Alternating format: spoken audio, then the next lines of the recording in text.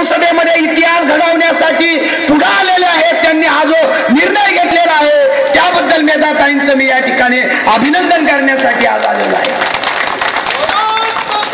मित्रांनो या ठिकाणी आपल्याला सांगू इच्छितो की मेधाताई ज्यावेळी उमेदवारी करणार अशा प्रकारची चर्चा सुरू झाली.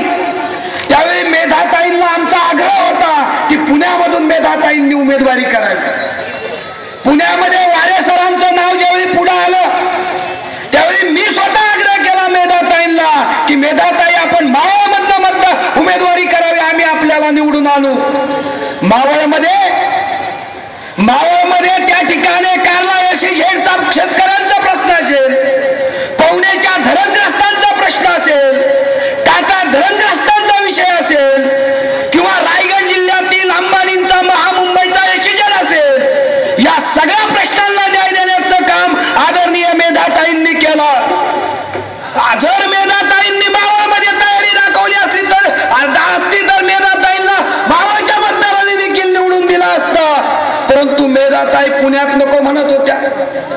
मेधाताई मावळमध्ये नको म्हणत होत्या? मेधाताई पाटकरांनी दक्षिण मुंबई मुंबई मधल्या या तुम्हा सगळ्या मतदारांवरती आणि तुम्हा कार्यकर्त्यांवरती संपूर्ण विश्वास टाकण्याचं काम केलेलं आहे. आणि तुम्हाला या निवडणुकीमध्ये मेधाताईंना मेधाताईंचं कार्यकर्ते म्हणून काम करण्याची संधी आणि मतदार म्हणून मतदान देण्याची संधी तुम्हाला दिलेली आहे म्हणून तुम्ही भाग्यवान मतदार आहात आणि भाग्यवान कार्यकर्ते आहात. मित्रांनो या ठिकाणी ईशान्य मुंबई सांगण्यात आला. हा ईशान्य मुंबईचा मतदारसंघ आहे. मी पुणे जिल्ह्याचा आम आदमी पार्टीचा संयोजक आहे मेधाताई जिल्ह्यामध्ये फिरत असताना मी बारामतीमध्ये सभा घेतली. मी शिरूरमध्ये सभा घेतली मी पुण्यामध्ये सभा घेतली सगळीकडे प्रचंड प्रतिसाद मिळाला. बारामतीमध्ये शारदा प्रांगणावरती पाच हजार लोक आले. शरद पवारांची अजित पवारांची झोप उडेल अशा प्रकारचा प्रतिसाद त्या ठिकाणी मिळाला. आम्हाला प्रत्येक ठिकाणी विचारण्यात आलं की दिल्लीची भौगोलिक परिस्थिती सामाजिक परिस्थिती तिथला मतदार. आणि महाराष्ट्रातली भौगोलिक सामाजिक परिस्थिती आणि तिथला मतदार. दिल्लीत घडलं ते महाराष्ट्रात घडेल का? अशा प्रकारचा प्रश्न आम्हाला विचारण्यात आला. आम्ही आज ज्या ज्या ठिकाणी गेलो त्या त्या ठिकाणी आम्ही सांगितलं की दिल्लीमध्ये अरविंद केजरीवाल यांच्या नेतृत्वाखाली त्या ठिकाणी ज्या निवडणुका झाल्या त्यामध्ये मुख्य मुद्दे कुठले होते? पहिला मुद्दा होता भ्रष्टाचाराचा. दुसरा मुद्दा होता महागाईचा. तिसरा मुद्दा होता प्रशासनातल्या संवेदनशीलचा चौथा मुद्दा होता त्या ठिकाणच्या कायदा आणि सुव्यवस्थेचा. पाचवा मुद्दा होता त्या ठिकाणच्या झोपडपट्टी पुनर्वसनाचा. सहावा मुद्दा होता त्या ठिकाणच्या अनियमित बांधकामांचा. अशा प्रकारचे मुद्दे अरविंदजींनी त्या ठिकाणी घेतले आणि ते निवडणुकीला सामोरे गेले. आता हे सात आठ मुद्दे महाराष्ट्रात आहेत का नाहीत महाराष्ट्रामध्ये भ्रष्टाचाराचे मुद्दे जर आपण या ठिकाणी सांगितले तेरे या विषयावरती त्या चिमुरड्यांनी ते सगळे मुद्दे सांगितलेले आहेत. या ठिकाणी लवासा घडलेला आहे हिरानंदाने घडलेला आहे या ठिकाणी आदर्श घोटाळा ताईंनी काढलेला आहे या ठिकाणचे सोळा मंत्री भ्रष्ट आहेत.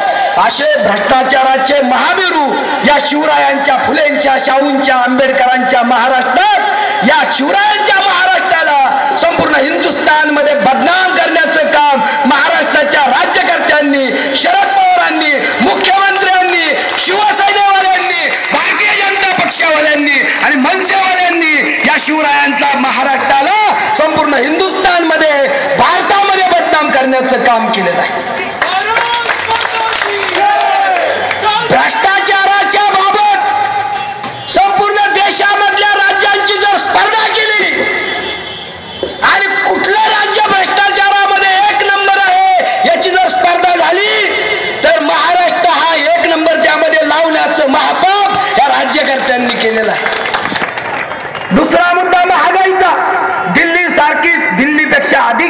महागाईचे चटके आमच्या लोकांना महाराष्ट्रातल्या लोकांना मुंबईच्या लोकांना बसताय तिसरा मुद्दा म्हणजे प्रशासनातली संवेदनशीलता.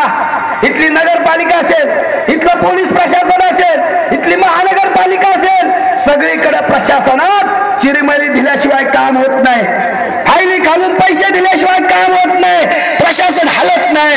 लोकांना हेलपाट्या मारण्याशिवाय दुसरा पर्याय नाही. आणि अशा प्रकारची प्रशासनाची व्यवस्था आहे. कायदा आणि सुव्यवस्थेची काय व्यवस्था आहे? पोलीस स्टेशनमध्ये राष्ट्रवादीवाला काँग्रेसवाला यांचा बगलबच्चा जर गेला तर त्याला खुर्ची दिली जाते त्याला थंड पाजलं जातं त्याला चहा पाजला जातो चुटकीसाठी त्याचं काम करण्यात येतं. आणि सामान्य माणूस आमची आई भगिनी आमची माता पोलीस स्टेशनला गेल्यानंतर त्याच्याशी पोलीस कसे वागतात? त्यांची पोलीस केस घेत नाही. अशा प्रकारची असंवेदनशीलता पोलीस स्टेशनमध्ये वारंवार दिसते. दिल्लीमध्ये एक निर्भय प्रकरण घडलं. दिल्लीच्या जनतेने इतिहास घडवला. आमच्याकडे रोज तसे प्रकार घडतात. त्याला वाचा देखील फुटत नाही. अशा प्रकारे दिल्लीमध्ये जे मुद्दे होते त्याच्यापेक्षाही गहन मुद्दे महाराष्ट्रात आहे.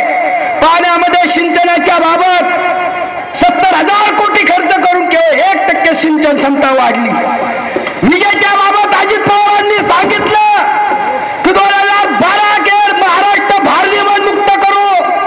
आज दोन हजार चौदा आहे. महाराष्ट्र भारनियमन मुक्त झाला नाही. ते शेतकरी टाचा घासून मरतोय परंतु तशा प्रकारे घडलेला नाही गोपीनाथ मुंडे आणि उद्धव ठाकरे सांगतात की महाराष्ट्र टोल मुक्त करू आणि नितीन गडकरी सांगतात असं होऊ शकत नाही या ठिकाणी अशा प्रकारची आश्वासनं देतात. शरद पवार सांगतात की शेतकऱ्यांच्या विजेच्या पंपाचे तुम्ही वीज तोडू नका.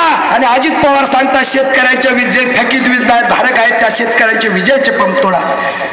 अजित पवार म्हणतात देशमुख नावाचा शेतकरी मुंबईमध्ये त्या ठिकाणी आंदोलन करत असताना धरणात पाणी नाही तर मी काय करू? मी काय करू? मेधाताई बसल्यात मी काय करू असं म्हणतात. सुशील कुमार शिंदे म्हणतात किती भ्रष्टाचार आम्ही केला तरी जनतेची याजदाद बहुत कमजोर आहे. लोक विसरून जातात. चार दिवस आठ दिवस चर्चा करतील विसरून जातील. पुन्हा आम्ही दारू बाजू पैसे वाटू. लोक आम्हालाच मत सांगते टाकते बोला हे सुशील कुमार शिंदे गृहमंत्री अशा म्हणतात की महाराष्ट्रातली भारतातली जनता वेगळी आहे. भ्रष्टाचारावर चार दिवस चर्चा करते विसरून जाते आम्हालाच मतदान करते आम्हालाच सत्य पाठवते. तसं महाराष्ट्रातली मुंबईची जनता करणार आहे का असा प्रश्न मी तुम्हाला विचारतो. करणार का तुम्ही असं? या भ्रष्टाचाराचा तुम्ही बदला घेणार का नाही? मेधाताईला संसदेत पाठवणार का नाही? आणि म्हणून तुमच्यावरती दोन महिने तुमची परीक्षा होणार आहे. पुढच्या दोन महिन्यात तुमची परीक्षा आहे. त्यानंतर पाच वर्ष मेधात आहे तुमची परीक्षा आहे. दोन महिने या मतदारसंघातल्या सगळ्या कार्यकर्त्यांची आणि इथल्या मतदारांची परीक्षा असेल. पुढचे पाच वर्षे मेधाताईंची परीक्षा असेल. तुम्ही दोन महिन्यामध्ये शंभर टक्के गुण घेऊन उत्तीर्ण व्हा. मला विश्वास आहे. ताई देखील पाच वर्षानंतर शंभर घेऊन उत्तीर्ण झाल्याशिवाय राहणार नाही. आणि म्हणून या ठिकाणी लहरों से डरकर कभी नौका पार नहीं होती और कोशिश करने वालों की कभी हार नहीं होती. मित्रांनो एकोणीसशे सत्याहत्तर ला क्रांती झाली जयप्रकाशजींच्या नेतृत्वाखाली. आणि